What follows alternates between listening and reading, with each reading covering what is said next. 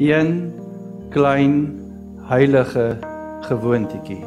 Wat het hierdie een gewoonte om God op te soek in gebed, nie net een keer 'n dag nie, maar 3 keer 'n dag vir Daniël gedoen?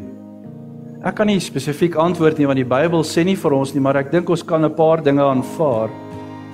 Deur hierdie gebed 3 keer 'n dag, deur hierdie gewoonte het Daniël sy verhouding met God gebou. Sy geloof in God het gegroei daardeur en dit het sy geestelike intimiteit en nabyheid aan die Here elke dag versterk. Hy het geleer om God se stem te hoor en om God se stem te volg waar hierdie stem hom lei. Drie keer per dag se gebed het hom die krag gegee om nee te kan sê vir elke versoeking. As Babilonië sê eet dit, het hy gesê nee, ek eet dat. As Babilonië sê ek doen dit, het hy gesê nee, my God wil hê ek moet dit doen.